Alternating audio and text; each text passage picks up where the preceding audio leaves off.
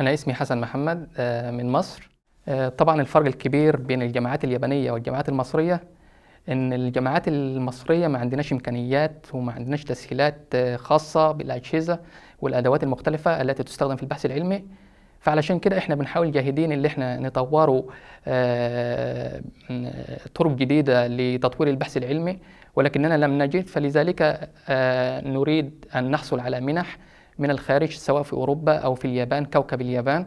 ونظرا لأني كنت أعمل مع اليابانيين ففضلت أن آتي إلى اليابان. فوجدت هناك الكثير من التسهيلات والكثير من ال- الطرق الممكنة لتطوير البحث العلمي.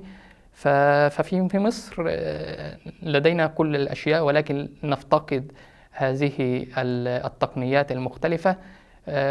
ولكن اليابان آه، تمتلكها. لذلك نقوم بالهجرة إلى اليابان لدراسة هذا وبعد ذلك نرجع مرة أخرى إلى بلدنا لتطبيق هذه التكنولوجيا ونعمل آه، ونعمل اتفاقيات بين البلدين وذلك بالمعونة بهذه الأجهزة لتطوير كل من البلدين.